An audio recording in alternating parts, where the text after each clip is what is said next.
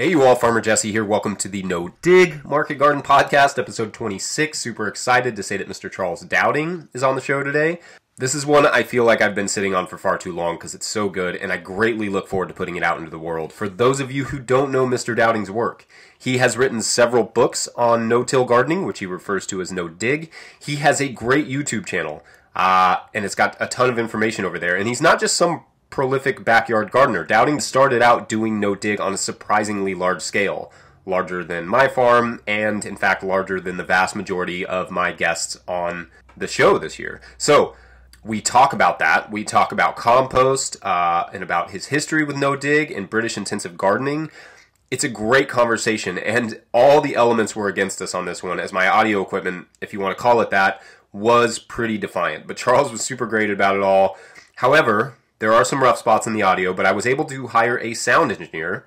Shout out to my buddy Willie Breeding, whose new record Big Sky is my jam, to take out the interference and help me clean it up. So big thanks to Willie and big thanks to you for your contributions so I could kick him a few dollars for his help. Speaking of contributions, I had this whole thing I was going to say about becoming a patron and about how close we were to our goal, but we literally this morning just hit $1,000 a month. So, uh, you all are amazing. Big thanks to Tiffany Jackson of North Carolina for sending us over the top with a big pledge, and thank you to everyone out there for helping to keep this thing going. Looks like we're going to be doing a second season after all, and I am super pumped about it. If you still want to support the show, there will be at least one really cool event announced over there at patreon.com slash farmerjesse soon uh, for this fall and patrons get first access and discounts at various levels. I'll be putting up some bonus material over there all summer, doing some no-till Q&As and that sort of stuff. Uh, you can also always Venmo us a couple bucks to no-till growers if you find something in this podcast that brings you some value.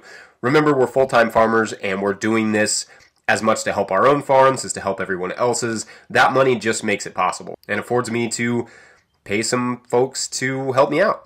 Anyway, thank you all, and I will get to work over the summer on Amazing Season 2. I have a pretty good list, but if you have any recommendations for guests or suggestions in general, shoot them to no-tillgrowers at gmail.com. Otherwise, as always, big shout out to our show sponsors like Neversink Farm Course. Neversink grosses over $350,000 on 1.5 acres. And in his online courses, Farmer Conor Crickmore has put together one of the most comprehensive guides on how it is done and how you can too. I have seen inside of it. It is not gimmicky. There's a ton of information in there, extremely valuable information, including videos, but also PDFs and resource guides. And it is well laid out with contextual and practical considerations. For someone who has already been farming for 10 years, uh, and I'm talking about myself, I learned an embarrassingly large amount from my stroll around the Neversink courses. There are over 60 hours of content ranging from indoor tomato and cucumber production to a whole section on flowers. There are great tutorials on irrigation, wells, infrastructure, hoop house design, but don't take my word for it. You can watch some of the content for free or get an idea of what's inside the course over at neversinkcourses.com. This is just a great investment in your education. It will only continue to grow. Again, that's neversinkcourses.com. All right, enough from me. Let's get to our amazing show with Mr. Charles Dowding.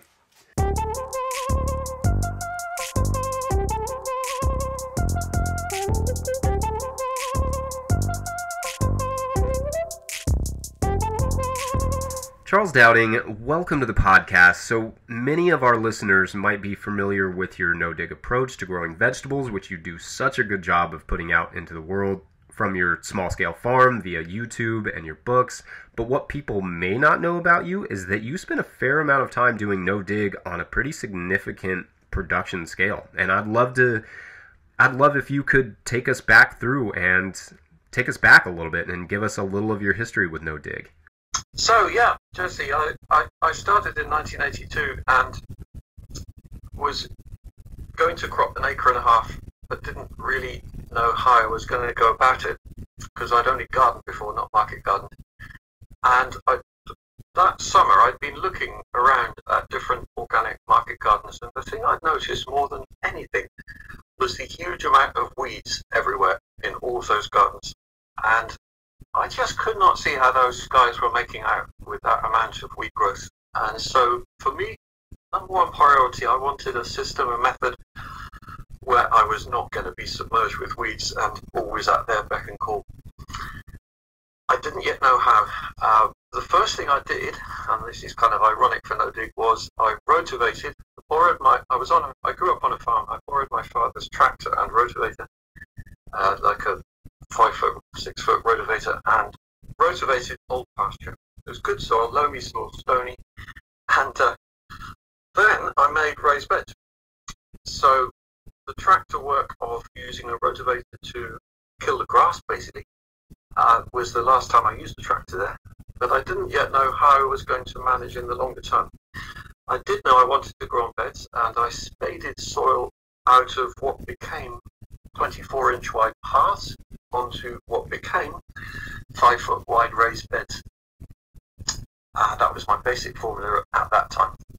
I wouldn't do it like that now, but this is what I was trying then. And I also had the option of a large amount of straw. My brother was uh, growing uh, dairy cows and mixed cereals on a thousand acres, and he kept offering me straw. He had more than he needed, amazingly. And uh, he wasn't organic at the time. He did go organic actually later when he saw the great results I was getting. Uh, but I was happy to use that straw as a mulch for my paths, not on the beds. So I, that for me was one aspect of keeping weeds down, weed-free paths at least. Some regrowth of cereals from the straw. And then the beds, I before starting, before the rotavating, I had a couple of inches of old cow manure um, applied by muck spreader, so that had been rotavated in. So that was my starting point of fertility, which was plenty. It was nice soil. And year one crops were fantastic. But there was one more thing I did relating to the no dig, and that was come across Ruth Stout, who I'm sure many of your listeners know. And her book inspired me, the one that's called No Work Gardening. It's not really an apt title, I feel, although I can see your point. And uh, I used that basis of her description of using hay and much to my father's horror, um, I bought some old hay. It was rotting hay. I said, oh, why are you doing that for, son? And uh, you know, I didn't pay as much for it. But anyway, I've got this big load of old, heavy, small bales of rotting hay, and I put them on a lot of my beds, not all, as a mulch, because I figured that would reduce my weed burden the next spring and summer. So that was it, all ready to go. And to put it briefly, what I noticed was two things. One was um, after an initial hoeing of my beds, of weeds that came up in the spring, uh, but minimal disturbance after that, I didn't actually get a lot of weeds. You know, I wasn't always chopping the soil up and everything. I, I wasn't, you know, too clued up on no dig at this point, but I could see where, where it was going. And the other thing I noticed was terrible slug problem where I, wherever I put hay uh, because the hay was giving perfect habitat for little grey slugs, which for us are a huge problem in our damp climate. So I thought, right, this is it, no more hay. And I was intrigued after that to just find out more about Ruth Stout and how she could be recommending a method which encouraged slugs. Uh, you know, I looked in her book. There's the, the, word slug is not even in there. She doesn't mention it. So uh, I did a bit of research and realised she's in um, in the Midwest, basically, uh, hot, dry summers and cold winters, which is not favourable to slugs. So that taught me how, um, in, in, in, adapting methods or taking methods from one place to another, you, have got to be a bit careful, you know, whether it works in a different location, kind of thing. But I can see the principle of what she's saying, surface mulching, and so I adapted that to our climate here, where spreading compost as a surface mulch, which is what I now do, works really well because it's feeding the soil, it's protecting and mulching, and it doesn't give habitat to slugs. So there you have the origins of my method. So you took that system that you developed and you turned that into a pretty sizable market garden. Can you describe what that process was like, and then also what market gardening was back was was like back then? It's, it was intriguingly different, and one thing I noticed was, um, well, when I started, I, I didn't have a marketing plan. You know, I was a real rookie. I was 22 years old, and I, I, studied geography at university. I had no agricultural training or anything, um, and, and I certainly hadn't got any clue about selling vegetables. But And my mother kept saying to me, you know, well, this is all very well. You're growing all this stuff. How are you going to sell it? And you know, the funny thing was that pretty much as soon as I had a crop ready, the phone rang and somebody wanted to buy it. And word had got out that I was growing organically. Um, I had organic certification from the Soil Association, even despite this non-organic straw. It was a little bit more relaxed in those days. And so these organic veg were in short supply in the 1980s. That was one big difference. To be an organic grower in the 1980s, you were, you were very fringe. Uh, you were very marginal. To some people, you were a hero. To most people, you were crazy. And I was appealing to those few people who were in, in desperate need, you know, because there wasn't much organic produce. So in year one, my acre and a half very quickly sold out of everything I grew. And I thought, well, I better expand my operations. So I borrowed the rotavator again, rotavated another acre and a half, and got busy with my spade that following autumn, 1983. And by Christmas, I had um, altogether three acres of beds ready to crop for 1984. And blow me down, the same thing happened. The phone kept ringing, and uh, I actually got in contact with us, a, a, guy who was selling in London, he, and he happened to live in nearby, so he collected the produce twice a week. But, you know, just ideal, really. Took it up to London, it sold like hotcakes, and um, that that was the basis of my selling, but also a lot locally, actually. And one thing I was also doing was I was selling boxes of veg, even from 1983, and that was a totally new idea at that time. Uh, it's become very big since that, this method of selling. Um, and, and people thought it was very odd at first. I sold six boxes in the first year, ten in the second year, and so on. And then it gradually grew. I was doing 100 by 1989. And uh, my whole market garden, yeah, it just kept getting bigger. And I was employing seasonal workers, like one guy in 1984, two in 1985, four by 1986, and that, that was enough. Um, I stuck at that. No, they, they'd arrive usually March and leave in November, and they would find accommodation in the village um, I had access to some farm farm cottage, and so it all worked. You know, kind of they worked really nicely without any master plan, um, and that was early organic growing. Um, the one difference also to now is that prices were higher. They weren't good even then, but um, it's incredible how there's been a pretty systematic erosion of price in real terms paid to farmers and growers and even my father was lamenting it. He said how in the 1960s, the price he received for milk, the milk he sold, was one half of the total price paid by the customers. And by the 1980s, when we were having this conversation, it was about a third. And, and that process has continued. So at least though in the 1980s compared to now, I could make a little more money than would be possible now. Yeah, that's really fascinating. I'm wondering there weren't a lot of people doing organic or even no-till or anything like that at the time period. So beyond Ruth Stout, did you have other inspirations? Did you see people doing that sort of style of veg production? No, not at all. Organic was was very small, and uh, right through the 80s, it, it was growing. Uh, and as a result, actually, we were all really good mates. There was something called the Organic Growers Association.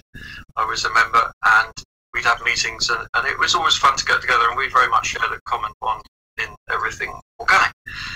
But interestingly, looking back on it, and I didn't really twig much um, in my mind at the time, was how no dig was not not really on the radar, so to speak.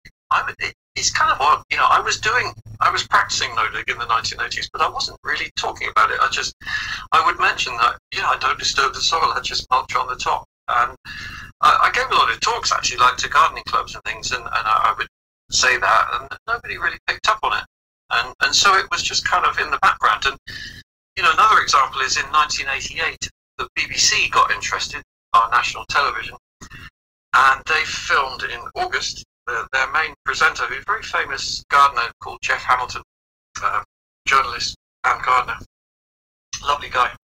He, we, we spent two days together, and, and everything we discussed was the organic side of what I was doing, and there was no no mention, no question or consideration of the no dig part.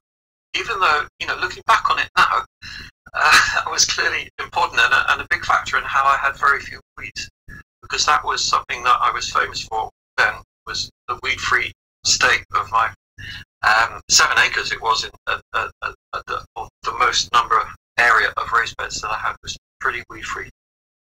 When I wrote my first book in 2007, uh, when it came out in 2007, there, it, it had no dig in the subtitle, and that did arouse a lot of interest, more than I'd realised might be the case. So uh, I think that was when the ball started to roll a bit. Um, but even so, I I wasn't, you know, kind of actively promoting No Dig because I just didn't notice there was that much interest in it. It was just built from there.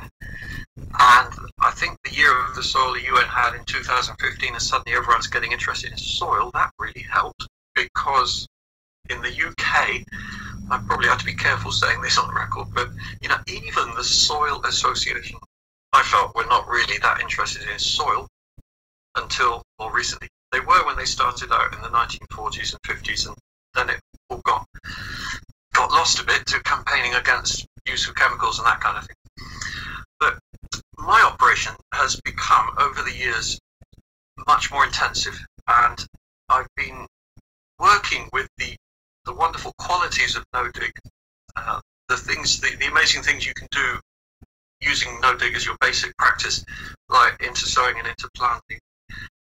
The fact that there's so few weeds, you know, making so many things possible to crop right the way through the season.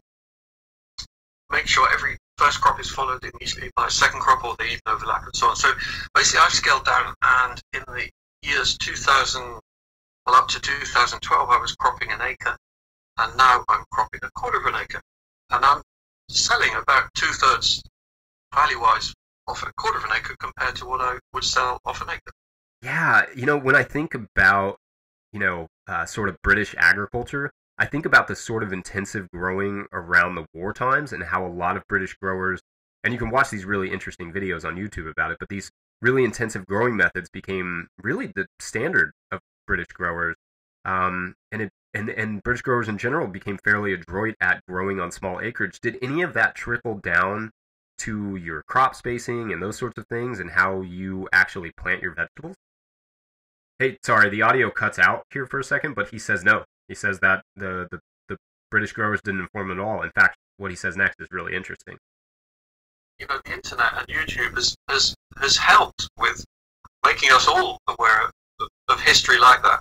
Uh, I think it's discussed more now than it used to be then, in fact. And, you know, just going back to the 80s, um, and you mentioning the war, you know, it was people I grew up with had, had lived through World War II and were very aware of um, food shortages uh, through that and as a result of it. And that was one reason why they hated organic farming and growing because they saw it as lower yielding and basically a threat to the food supply.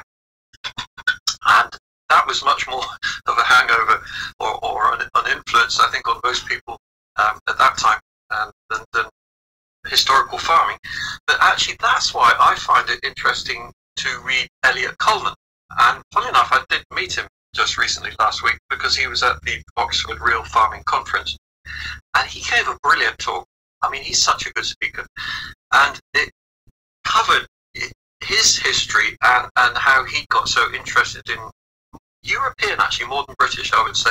You know, Paris, Berlin, um, the market gardening that was going on, very intensive, rather like you mentioned, to feed huge cities and how those guys did it using methods not dissimilar, um, but much better than what I'm doing here. I mean, I'm not in their league, uh, but uh, you know, I, I, feel like I'm just getting getting the hang of it of, of, of doing what they were doing. But uh, I think we also, you you know, with something like that, you can't copy you can't copy stuff in history because the, the situation is different. People are eating different food. There are different demands. There, there are different supplies.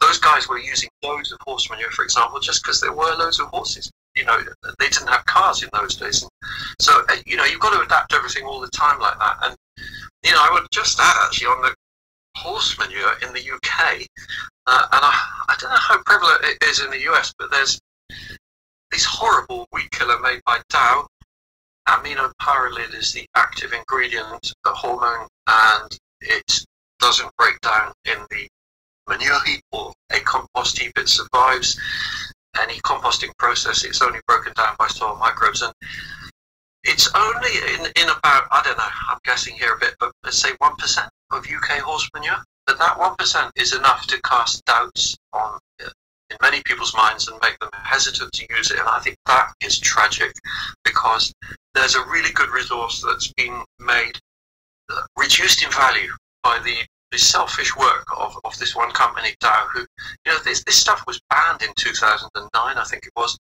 Then they managed, they lobbied like they always do, they got it re-allowed on condition that any farmer who uses it signs a document saying that he won't sell any produce grown with it off that farm. Clearly, that's not being enforced and it's getting out there. But I'm only mentioning that just because, you know, in the old days, yeah, you could have used horse manure without even thinking of something like that. And now we maybe have to be just a bit more careful about our inputs.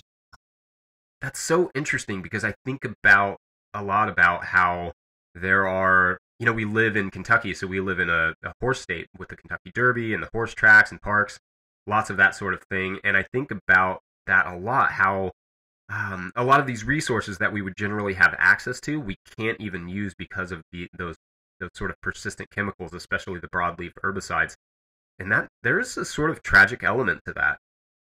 What what one could say though is that you know, okay, so we horse manure is not such a good option sometimes now, but one thing we have got that wasn't around so much in the old days is wood chip, like shredded wood, chopped up wood of any kind. And that, that is, is a great resource and it's something I'm looking at more and more how to use it. Like um, this spring, I want to make a Johnson Su bioreactor, which I've seen on YouTube. And you know, that, that, there's exciting possibilities and so much still to discover about um, composting materials, how to use them to add value to soil, particularly biological value. That's what I'm really looking at, and, and that's what I'm passionate about with No Dig. You know how it maintains and then improves the, the biological status of soil, the microbial life and activity, which then links into the fertility and the health and abundance of crops. Because I'm really keen to move the debate about what is soil fertility away from chemical nutrients. You know, I feel that chemical companies and associated media have really hijacked that debate. You, you talk about fertility, and most people seem to be programmed to think of nutrients.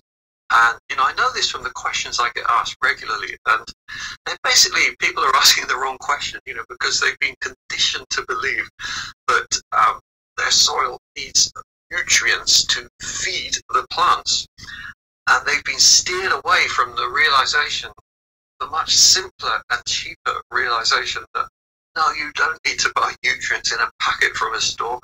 You can create them and make them available in a lively soil which you can stimulate, often with free additions like, say, wood chips.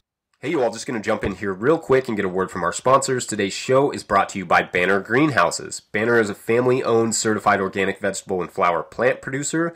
This second generation farm has been producing plant starts since 1991 and they are extremely good at it. My partner in no-tillgrowers.com, Jackson, has been using banner transplants for years. I have some banner starts in my garden as I speak. We specifically sought them out as a sponsor because of how much we love their product and know you will too. Their greenhouses and outdoor growing area cover over 18 acres and enable them to provide optimum growing conditions for each cultivar. Get CCOF certified organic vegetable and flower transplants, which now include hemp, delivered straight to your farm.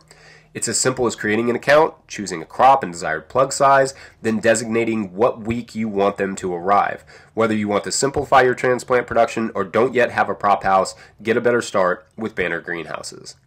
BannerGreenhouses.com. Today's show is also generously and enthusiastically brought to you by Growing for Market magazine. For 28 years, Growing for Market has been the source for direct food and flower growers. All GFM content is custom written by farmers, many of them no-till farmers, and others who get their hands dirty and know what they're doing. Growing for Market does not recycle content that you have seen elsewhere. If you do farmers market, CSA, farm stands, pick your own, flora sales, or wholesaling, your business is different from any other kind of business. Whether you're a commercial grower or just want to grow like one, subscribe to GFM for the nitty gritty of growing, marketing, and the business of small scale farming 10 times a year. It is available as a paper magazine, digital download, or both. Subscribe to GFM for the latest on market farming. There's information on growing vegetables and flowers in every magazine, and I will add lots of good no till articles. They were way ahead of the game on this one. Use the coupon code NOTIL, lowercase, all one word, to get 20% off any subscription through growingformarket.com or call 800 307 8949. Subscribers, as always, get 20% off the carefully curated selection of books that GFM carries, including GFM editor and podcast guest Andrew Mefferd's brand new book, The Organic No-Till Farming Revolution, where Mefferd interviews 17 different growers using no-till and gives an overview of the techniques, providing a roadmap for anyone interested in starting a no-till farm or converting an existing one to no or less tillage. That's growingformarket.com. All right, back to Charles. Yeah, that's great. I'm actually wondering if we could get a little bit into compost. I had a couple of Patreon members of the show, uh, Jordan Deerham and John Llewellyn, who wanted me to ask you two related questions. Uh, one, how often are you adding fresh compost? And the second part would be, are you differentiating between textures of compost uh, for starting beds versus keeping them covered? So, in other words, do you use different textures of compost for different purposes? My application of compost is very simple. It's once a year. this links back to what I was saying about, you know, compost is not, when you're adding compost, it's not like adding nutrients. It's not, I, I urge people not to think of it as a fertilizer. It's a soil enhancer. And you are adding microbes, among many other things. So it's it's fine to add it just once a year. This links in also to you know, what's an efficient way of working? And when you get into the whole feeding plant scenario, life gets really complicated. You know, you have to keep working out, hey, God, this this is plant's hungry feeder, it needs feeding now, or then again in two months, whatever that sort of thing. Uh, whereas this process I'm I'm developing it is is is much more about feeding the soil. Well, it's not me who's developing; it's been around a long time. But basically, you just want to really, I really want people to see that as as that's the much simpler way. So you spread compost once a year, you, you feed your soil microbes, and they carry on working throughout the year as a result. Um, that's it in a nutshell, if you like. Obviously, there are variations of that, small ones. But the, the, the big time saving is just one application a year, even for double and triple cropping. So many beds in my garden, for example, we're clearing um, crops in the early summer, like peas, broad beans, early beetroot, carrots, salads, spinach, and so on. Twist out the plants rather than pull, disturb the soil, not very much. That all goes to compost heap. We put nothing else on and then simply resow, replant without any addition of anything until then the following autumn or early winter. That's my preferred time. You know, it could be different in other situations. My preferred time, November, December, last clearings, apply the compost for the year. The beds are then um, covered and microbes are being fed ongoing from then and throughout the following year. You know, it, it is such a simple process. That's one reason I love it. And um, the soil loves it too, because the, the, thing I noticed from that, you know, one issue can be with compost that you get weed seeds. Uh, when I say compost, by the way, it can be anything decomposed. So the starting point might be animal manure.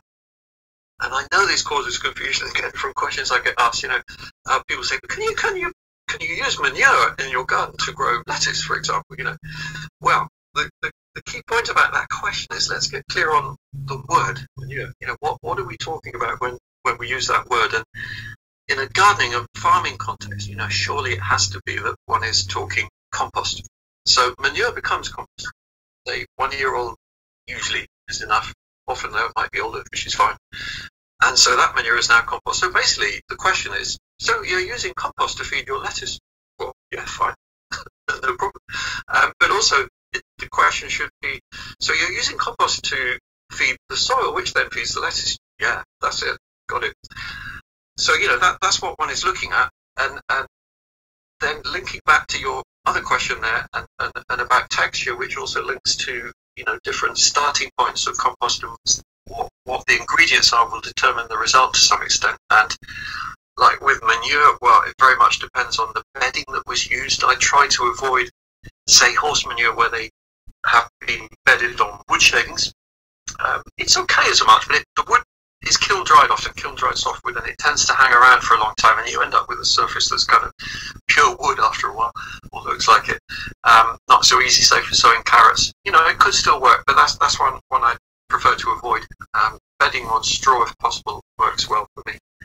Um, and then, you know, if you've got if you're using wood chip as your ingredient for compost, yeah, you'll have some lumps for sure, bits of wood that are slower to break down than the other bits.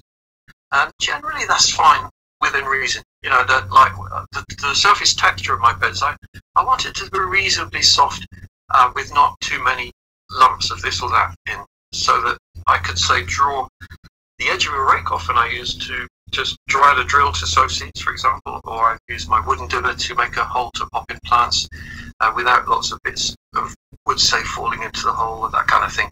So, you know, there's all those things to consider and, and how that affects also the speed of operation because um, also going back to what I was mentioning about the price of vegetables going down in real terms, and always one is looking at doing things more quickly or more efficiently, I should say, really. So you know, this whole method is incredibly efficient where you, you create a bed surface of the compost mulch, which is ready to sow and plant at any time, at any time of year. Um, uh, you know, it's April now. Well, for sure, that's really top time to, to, to go. But even in um, November, you know, say planting broad beans or something, which we do here in November, um, just make a hole and pop them in, and, and, that, and, that's it. Or usually popping in plants rather than seeds, I should say.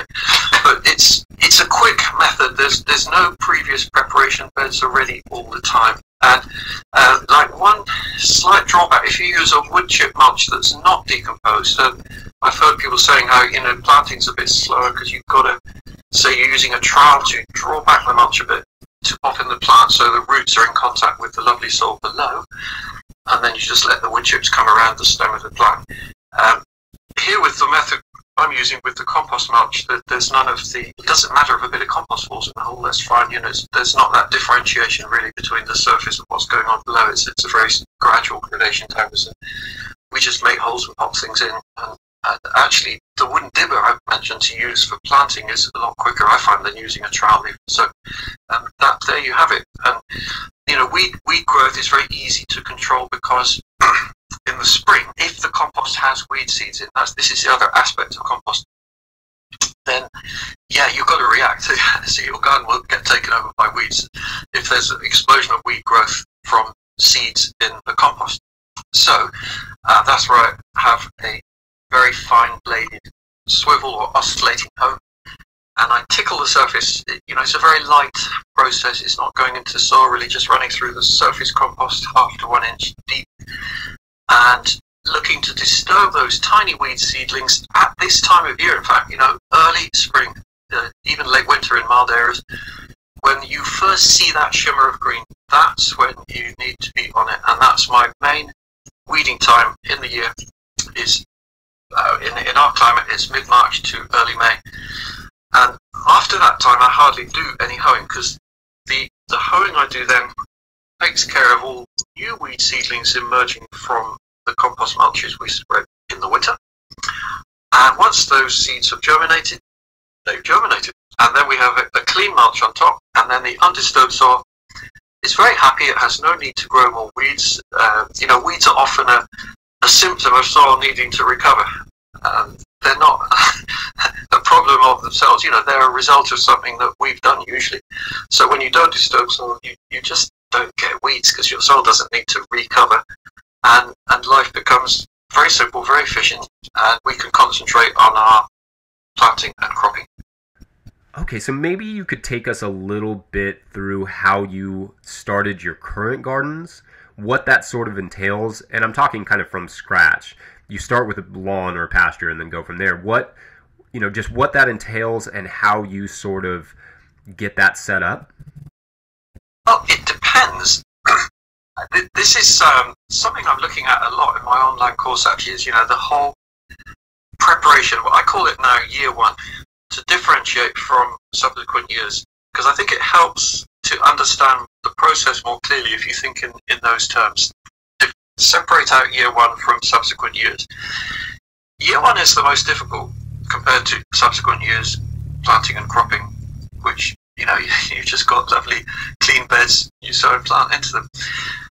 Year one, though, you've got often you need to clear a lot of weeds, and when I see clear, um, I find that a tricky word actually, or the tr- process tricky to describe because I, I don't like talking about death and killing weeds, but basically that is what one is doing, and you're doing it by depriving them of light. That that is it in a nutshell. You know that's the process. Mulching, mulching means any surface material, and whatever material it is that you use, you are putting on the surface that's depriving any weeds that are currently there of light. And depriving any plant of light, it will take a certain amount of time to die depending on how much stored energy is in the roots. So, for example, um, I'll use some examples from here. I expect they're mostly applicable in the USA. Uh, lawn grass, you know, you've probably noticed, you guys, how in England we love our lawns. And because they're mown regularly, the weed roots are, oh sorry, I should say the grass roots, are not very strong. Uh, this links in, you know, to the work of Joel Salatin and um, mob grazing, where you let grass and pasture grow much taller, and and that basically that feeds the roots and allows a fantastic root system to develop. So, if you've got tall weeds, they've probably got strong roots. But if you're starting with a fairly low ground cover of grass, or maybe uh, just a few annual weeds, even actually if it was quite a lot of annual weeds rather than perennials, that's easy. You know, like I would lay cardboard because I find that's a very effective way of guaranteeing a, a light exclusion 100% as long as you overlap the cardboard edges by around four to six inches.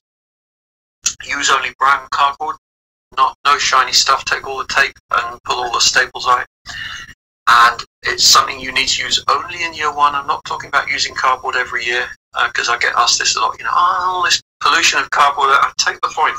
You know, cardboard does have stuff in that, that we don't want. Some glues, maybe. I researched it on the internet and I cannot find reference to, um, you know, poison or whatever.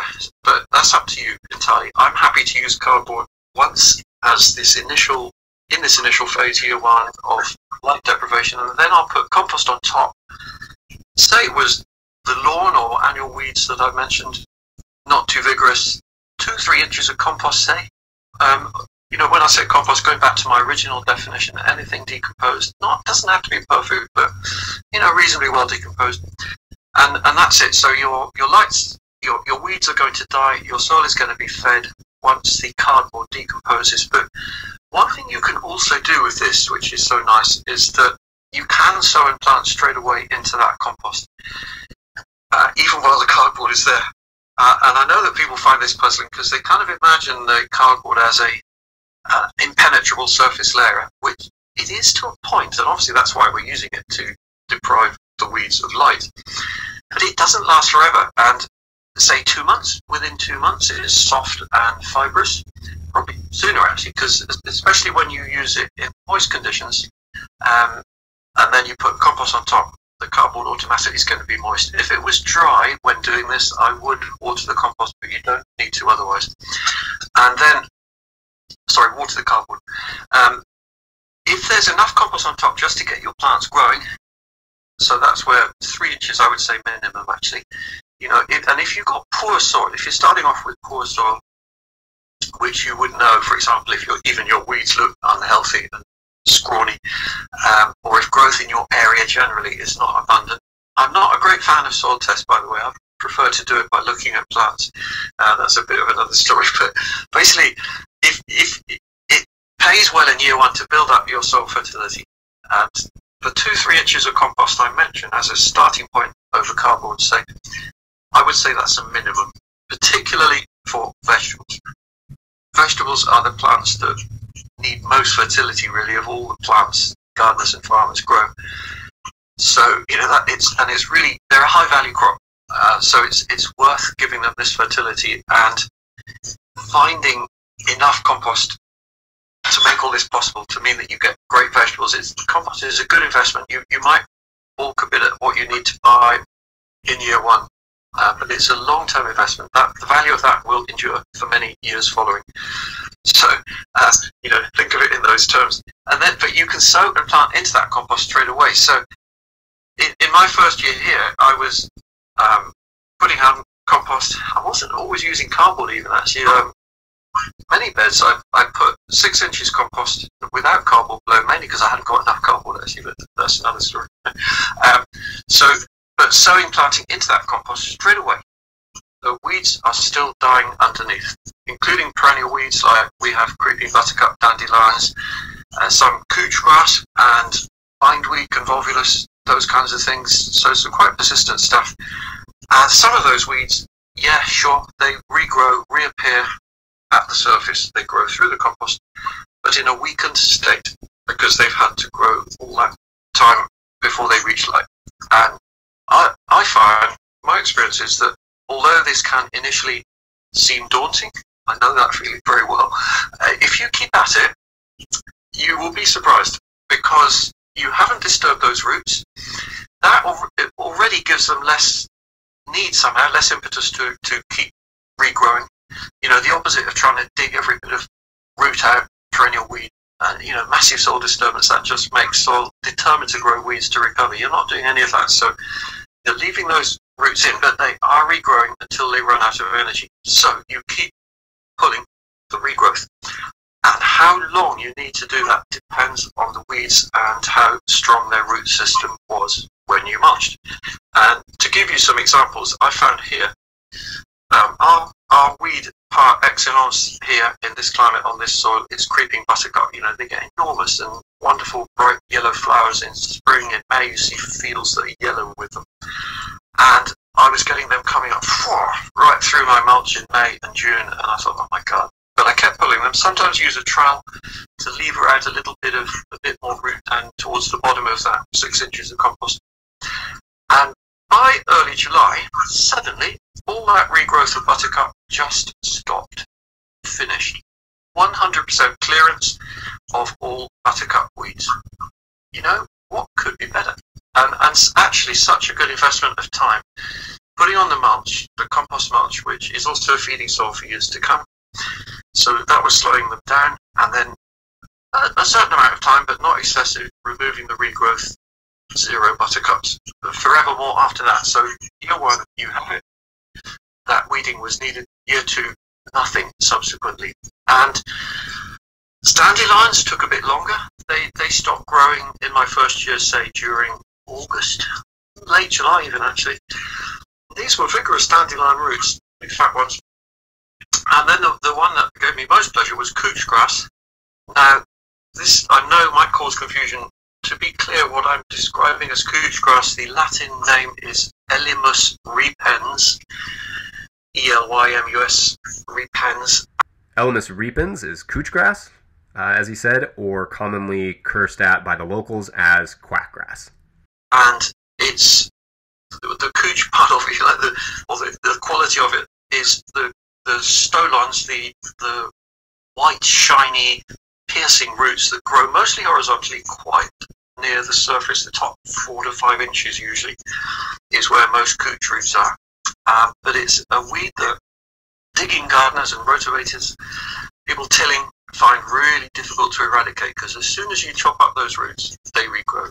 That's just a natural law that you can't get away from.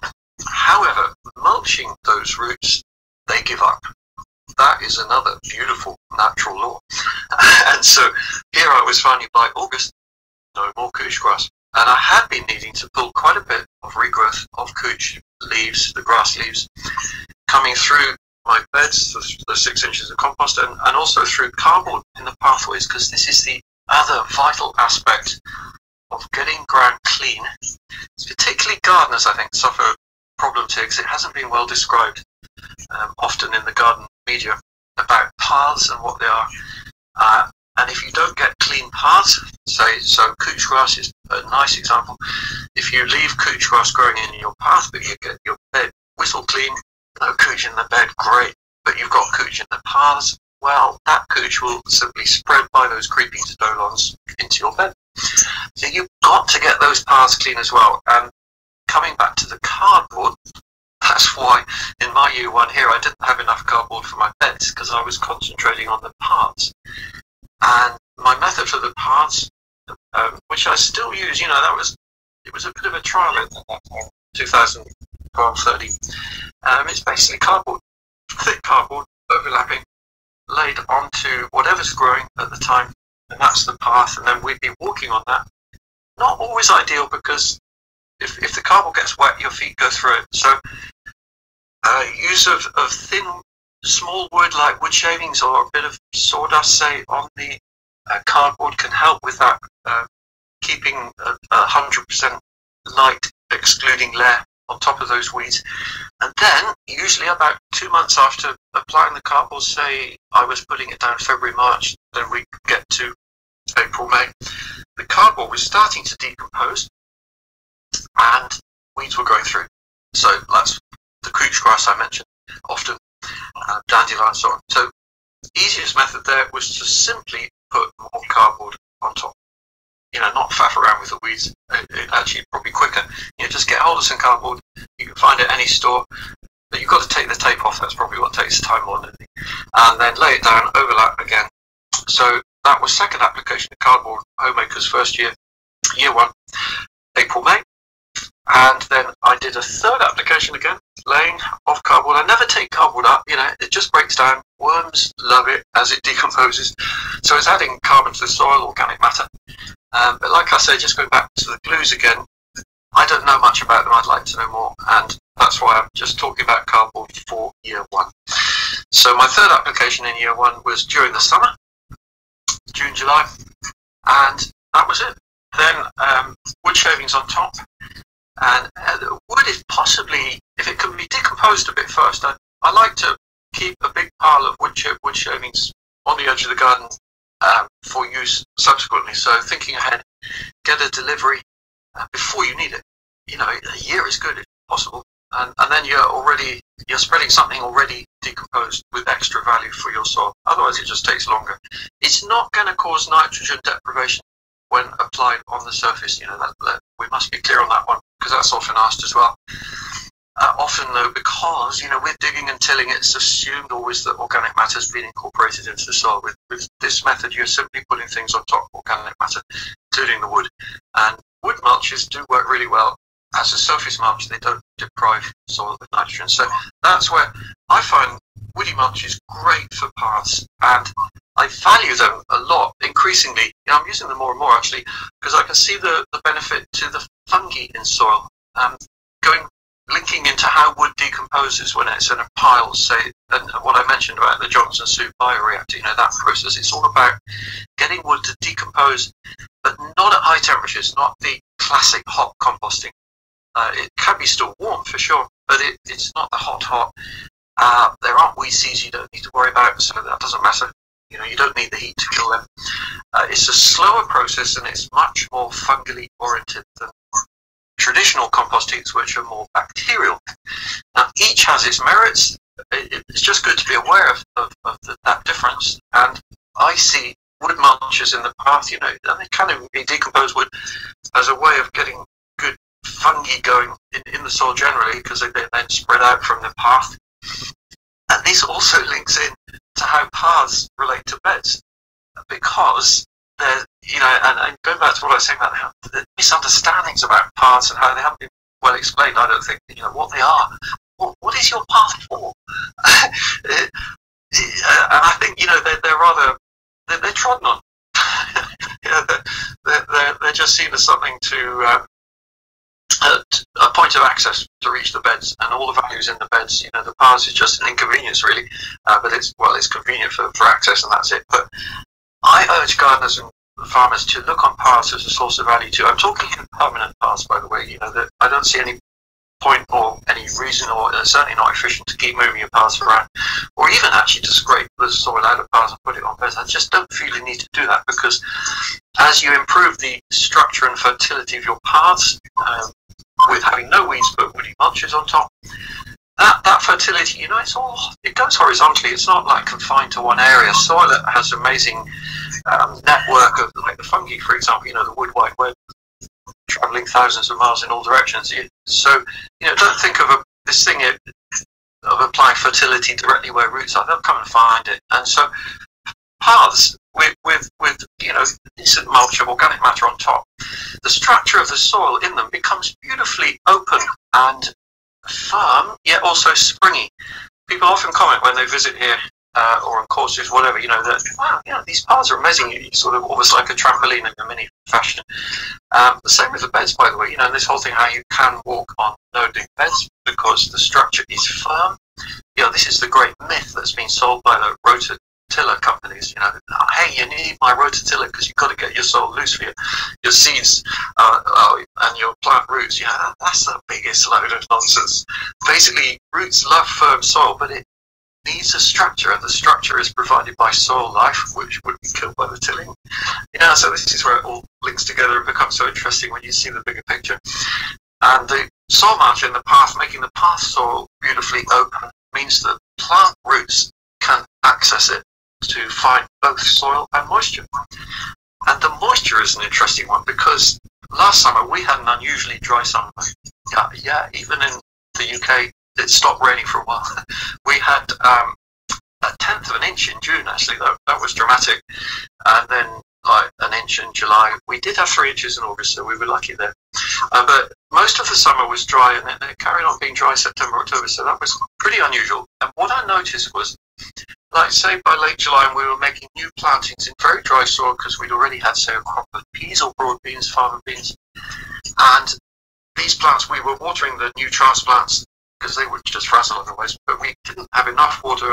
Um, I haven't got an irrigation system here because I'm not watering a lot actually. That's another beauty of no dig. It definitely reduces the watering. But we water plants until I can see they're established and they've got their roots down. And then subsequently, what I noticed was very strong difference between growth of plants in the sides of the beds compared to the middle of the beds. And if you didn't realise how valuable paths can be, you'd think always that the plants in the middle of a bed would be stronger and lusher because, you know, hey, they've got more compost. They're, they're right in the middle there where all the goodness is most concentrated compared to the edge. But the edge plants last summer, in every case, beetroot, chicory, lettuce, whatever it was, were bigger. No, you know, twice the size. And every time it rained, I reckon what was happening was that they could just send out their little roots because you know rooting is often quite temporary uh, into the paths the surface of the paths and amongst all that woody mulch and even a bit below that, and just pick up that moisture, which the plants in the middle couldn't do. So, you know, there's a beautiful example of the value of paths. And um, yeah, I encourage anyone to, to, to, to, always bear that in mind. It also links to not having wooden sides. Um, you know, the, the, this is again a misunderstanding. I, I, don't know if it's so true in the US, but here in the UK, you mention, you say the word beds to most gardeners, and they'll think the image in their mind will be wooden-sided raised beds. You know, that's an assumption that's made. Uh, assumptions like this, by the way, you know, are, are a massive cause of misunderstanding because often people don't realize they're making these assumptions, but they just are because they're assumptions. So you've got this wooden-sided raised bed thought, and, and if you have wooden sides, that makes it more difficult for plants to root into the paths, and you can save money time, and also slugs and woodlice actually by, uh, by not having wooden sides. So I've here I've got just two beds with wooden sides, which are my trial beds, dig no dig. All my other beds don't have sides. They have temporary sides in year one to contain the compost. That's one another difference with year one and subsequent years. But ongoing, no wooden sides, and that makes life a lot easier. And it also means that plant roots are freer to travel into the paths and the wonderful soil that's in pathways. That was a bit of a, a monologue there, but I hope that's given you a, a, a nice view. I love that. I love that you spent so much time talking about paths because that's certainly something that we overlook in the literature and just in our conversations about no-till farming in general. But before I let you go, I want to hear about your online courses. Right. Thank you. Well, I do. At the, at the the garden here, I call it a garden, by the way. It's interesting the, the difference in words between garden and farm. And um, here in the UK, generally, anything under about uh, well about the size I'm at is called a garden. Uh, when you're more than half an acre, say, then it's a farm. But we tend to keep the farm word for strictly commercial operations. Um, so I think of this, although I'm commercial here, it's um, some of my living is from horses, for example, as well as from the produce I sell. So um, yeah, I find day courses great because not only am I seeing people learning, but I, I get I get from it as well. You know, I, I love meeting people and, and having discussions. And what, what, two comments I, I, I, get commonly when people come on a day course here is one, uh, they've usually watched a lot of my YouTube videos and they say, "Wow, this garden is a lot smaller than I realised." so uh, if you are watching the videos. That, you know, bear that one in mind. Maybe it's it, it is literally it's a quarter acre, but it's quarter acre is is in quite a few different areas, so you don't ever see a quarter of an acre altogether. Um, so, so yeah, it's, it's, it's in very sort of micro-sized bits, and there's one bit I call the small garden, which is just 270 square feet, and I've, I've made that as a way um, of showing what you can do in a small area, so that's very suitable for small-scale gardeners, and that's on the videos as well, the small garden ones. Um, but what I've noticed with the courses is that um, two things are happening. One is that I've got a huge and growing international audience, and although we do get a lot of people from abroad, like I'm running a weekend course here in April, and of the first six bookings, two were from Iceland and two were from Sweden, and the other two from the UK. You know, so it's, it's going a bit international. But particularly for you guys in the US, we, we do have some actually. There's a lady or a couple coming on a course in February from Maryland, which is lovely. Uh, but I wouldn't suggest hopping over the Atlantic just for a course. Uh, but if you're coming, do, do look at the dates on my website, see if you could fit it in. Um, but to be more practical about it, I, have created this, or I'm creating, uh, it's, it's available now, the online course. And this is um, very extensive. It's a huge amount of information in there. And uh, the, the price is, you know, affordable, around $150. it's not going to break your bank. And um, obviously, that depends on the exchange rate, by the way, but whatever. The amount of information in it, I think, is, is, is, is going to be huge for you because you've got loads of videos. Um, not, these are videos not on YouTube. I do refer also to some of the YouTube videos, which are useful as well. Uh, but we've made a lot of new videos, and there's it's like a book that goes with it. There's around 45,000 words, words of text, which is just cram full of information describing no dig, why it works, how it works, how you can do it, uh, with some examples of, of cropping plans for small space. Um, but it's mainly about no dig, and, and that is the fundamental and beautiful starting point for being successful and happy in your gardening and farming because there's no doubt about it. You know, once you get on top of the weeds, you know, that's such a key part of it. The, the, the, the absence of weeds in no dig gardens, I get this feedback so much, and people saying, you know, just can't believe it. Like, what? Where did the weeds go? They just don't seem to want to grow anymore. And that enables you to just do everything else so well and, and grow so much more food. So, yeah, do have a look at this course because it, it, will unlock, I feel, that possibility for many people. You'll see very clearly, I, I laid it out step by step, you know, how to go, different scenarios, different compost. There's a lesson in making compost as well which um, all of us do differently, which is just amazingly wonderful. You know, it's it's something that there's no rights and wrongs really, but there's so much you can just learn about the process. That's what I'm always looking to explain, and, and in the no dig as well. Uh, the underlying process, the, the understandings is what you need. Then you need a few methods, and then crack on and develop your own methods as well.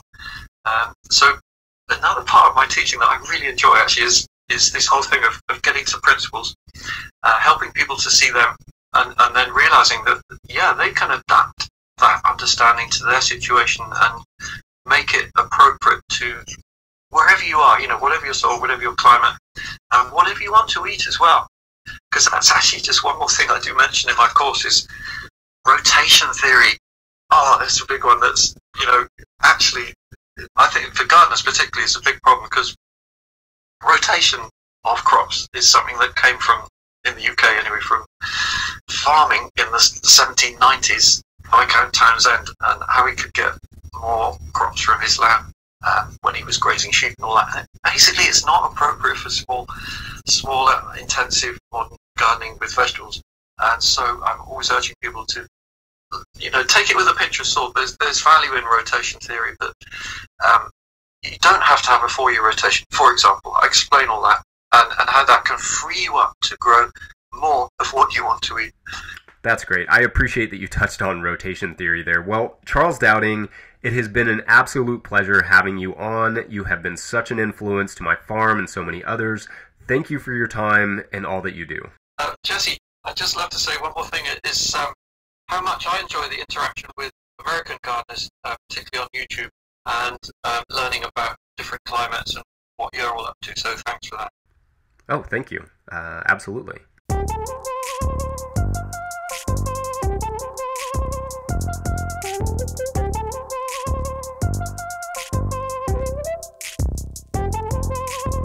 All right, if you enjoyed that episode, make sure to check out all the things that Charles has going on. He has an amazing YouTube channel. His no dig gardening course is available now. I will put those links in the show notes. Uh, he does a lot of events. He's doing one with the venerable Oxton Organics in September. That's over across the pond, but it is worth it if you have the money to get across the pond um, or if you already live over there. So go check that out. We hit our $1,000 a month goal on Patreon this morning, but you can still contribute to ensure that number stays there as patrons come in and out. That's patreon.com slash farmerjesse. It would be awesome to have a little buffer there, but I am not going to rant on about that. I am over the moon, you all, and I have literally never used that phrase in my life. Anyway, we will be doing a second season officially, and it will be awesome. Make sure you are subscribed to the podcast wherever you're getting this podcast, and uh, leave a review on iTunes. Otherwise, thank you all for listening. We'll see you next week. We've got two more episodes, no sponsors for these last two, just us kids. Thank you again, sincerely. Bye. Um, I, I start again? Yeah, go ahead and start again. We'll get this, by golly.